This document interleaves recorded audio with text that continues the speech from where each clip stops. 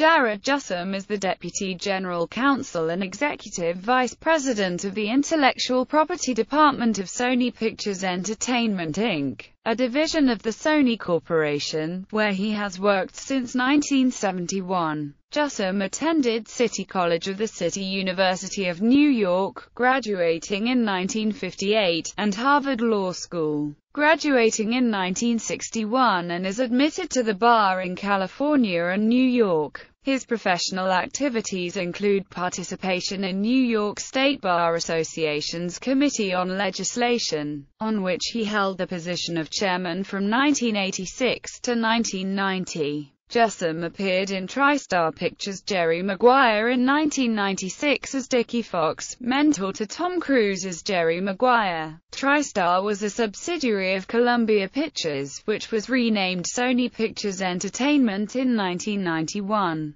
Cameron Crowe had initially asked director Billy Wilder to play the role of Dickie Fox but Wilder told him to get an actor. Jussim, who had no prior acting experience, was cast for the role after walking into a production meeting with Crowe and James L. Brooks. Jussim was asked to say one line and was thereafter selected.